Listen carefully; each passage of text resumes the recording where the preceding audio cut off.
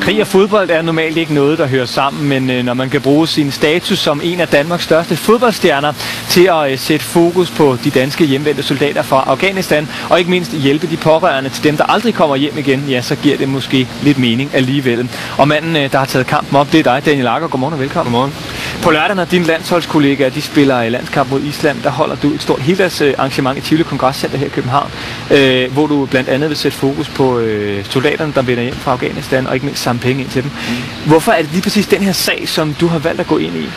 Jamen, det, det er mange årsager til, den, øh, til det. Um, og en af dem er, at, at jeg synes, det er en, øh, det er en ting, som, som mangler lidt opmærksomhed øh, og mangler lidt hjælp, ikke mindst. Øh, og hvis jeg kan bidrage med, med lidt af det, lidt af begge dele, så, så gør jeg gerne det. Men altså prøv det her, det er jo startet på dit helt eget initiativ. Du har ikke som sådan nogen øh, militær karriere bag dig selv, eller en eller anden stor sådan militærfamilie bag dig, eller sådan noget. Mm. Hvorfor i alverden ligger soldaterne der så nær? Jamen, det er igen mange, mange ting. Jeg, jeg har selv uh, haft en lille drøm om at, om at være noget inden for forsvaret. Uh, og så er det også noget med, med ren mens, øh, medmenneskelighed. Uh, det er nogle, nogle folk, som jeg gerne vil hjælpe. Uh, og så har jeg et overskud til at gøre det uh, lige nu. Uh, og så synes jeg også, at at der er god grund til det. Uh, og det er jo ikke, det er jo ikke fordi, det, det kræver vildt meget af mig. Uh, hvis jeg kan, kan bruge det, jeg er, til at hjælpe dem, så, så synes jeg, der er grund til at gøre det. Men, men hvorfor er det, du synes, at de mangler opmærksomhed? Fordi vi hører jo om krigen i Afghanistan og vores mm. soldater hver eneste dag i fjernsynet. Det gør vi, ja. Uh, og jeg synes også, at, at vi hører rigtig meget om dem, når de er dernede, og vi hører rigtig meget om dem, når, før de tager derned. Men, men jeg synes, uh, at man hører lidt mindre om det, når de kommer hjem og, og har det skidt, uh, både fysisk og psykisk. Så derfor der, der håber jeg, at jeg kan skabe lidt opmærksomhed omkring det, og, og så skrabe lidt penge sammen samtidig. Ja, de penge de går så til en fond, der hedder Soldaterlegatet, hvor øh, pårørende og hjemvendte soldater, de kan søge penge, blandt andet til proteser og, og så videre. Vi har nogle billeder her, hvor du er sammen med nogle af de pårørende og øh, veteranerne, som er vendt hjem. Hvordan har, altså, hvilke reaktioner har du fået fra dem, som du rigtig gerne vil hjælpe? Jamen, jeg synes, det har været positivt. Jeg synes virkelig, at, at folk øh, de værdsætter det, de ting, du gør. Øh, og det det giver jo bare en endnu mere energi til at, til at gøre noget mere. Uh, så det har, det har været rent og skær positivt.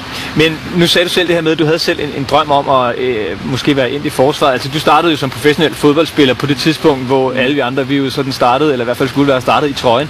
Kunne det være dig selv, hvis ikke du var blevet fodboldspiller, som havde været udsendt og var kommet hjem igen? Det tror jeg, det, tror jeg, det kunne være. Det lå lige på, på vippen, lad mig sige sådan. Uh, havde Brøndby ikke tilbudt mig en kontrakt, så, så var det der, jeg var endt. Uh, så det tror jeg. Og nu er du så gået ind i det her, og må bare sige, det du er gået ind i virkelig, virkelig hele hjertet. Øh, der er jo rigtig mange andre øh, kendte mennesker og fodboldspillere og sportsstjerner, som støtter alle mulige forskellige formål. Ja. Og det er jo fint nok, øh, øh, men det er måske også sådan mere ufarligt på den måde. Det er måske øh, øh, kraftsagen, eller øh, syge børn, eller sådan et eller andet, som, som ingen rigtig har delt en mening om. Du støtter veteraner, som vender hjem fra krig, og det er jo noget, som der er rigtig mange følelser i. Mm. Hvor meget har du tænkt over det her med, at du måske sådan kan gå ind og blive en smule politisk, eller måske i hvert fald kan få også nogle negative reaktioner fra nogen? Ja, det, det spørgsmål har, har kommet op flere gange i løbet af de sidste par uger, og det, det har svaret det samme til hver gang. Det har intet med politik at gøre det her. Det er ren medmenneskelighed og, og, og ren... Uh, villige til at hjælpe andre, uh, og andre, der har det svært. Og jeg, jeg, jeg synes, de har det svært, mange af dem, der, der kommer hjem. Hvorfor? Uh, jamen, nogle oplevelser, de har haft dernede. Uh, og som jeg sagde før, så er det ikke, det er ikke kun fysisk. Det er ikke kun dem, der mangler et ben eller, eller en arm. Uh, der er også mange psykiske lidelser omkring det her. Og det er også dem, jeg gerne vil ind og hjælpe.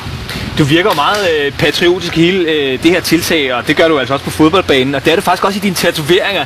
Jeg vil lige vise et billede af din ryg, øh, meget indiskret, men den kommer dog trods alt alligevel øh, her. Der har du en øh, meget fed tatovering, der er Holger Dansker, der er så videre. Betyder det meget for dig det her med, altså selvom du nu bor i England og, og spiller Liverpool, at være dansk? Ja, det gør det.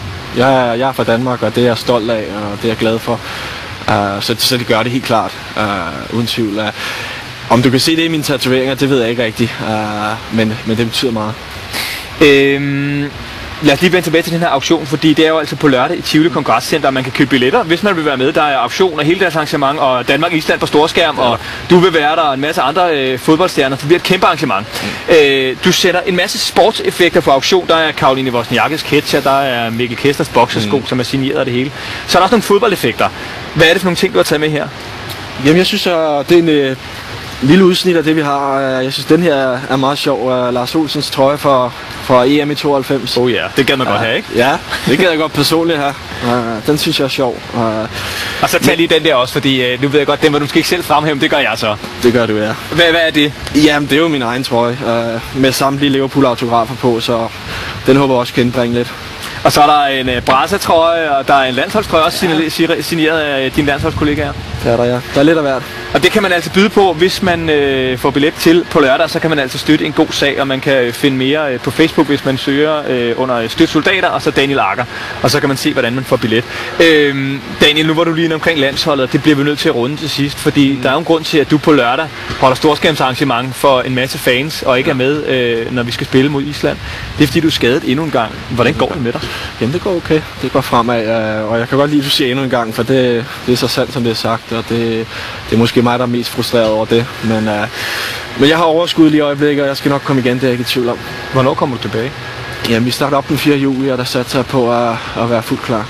Hvor er det godt. Og så vil jeg bare sige held og lykke med initiativet, og ikke mindst med at komme tilbage øh, på landsholdet i, i Liverpool. Og, Tak. ja, så vil jeg lige sige en gang, jeg havde engang en, øh, en kuglepen, øh, en spritus, fordi jeg er blevet sat på en lille opgave jo. Ida søn, Elias, Ja. han har den Liverpool-trøje, og jeg vil høre på vegne af min kollega, om du måske ikke, den, det er så til en helt privat samling, og ikke til nogen auktion.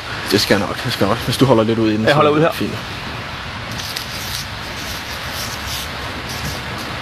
Sådan der, Daniel Akker. Tusind tak for besøget, tak. og øh, rigtig meget held og lykke på lørdag. Tak Og, det. øh, nå, ja, bare Tak, Daniel. Det var pænt af dig. vinke herovre bagfra. Yes! Det lykkes. Ej, det er stort, det Du her. blev, helt, du blev så lidt starstruck. Jamen, det kan man godt blive med nogle af de her drenge der.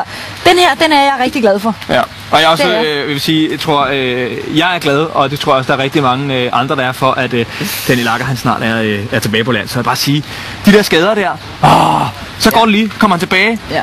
ryggen fungerer, så bliver han knæskadet. Ja, og som man selv sagde, jeg kan godt lide, du, du siger endnu en gang. Ja. Altså, det må være noget af det mest hardcore, som sådan virkelig top sportsudøver. Og bare blive ramt af den ene skade efter den anden. Og så ikke mindst øh, hele tiden skulle svare på journalisters spørgsmål.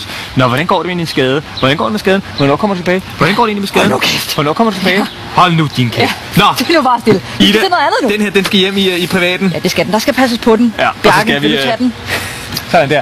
Også Bjarke. Og så skal vi, øh, ja,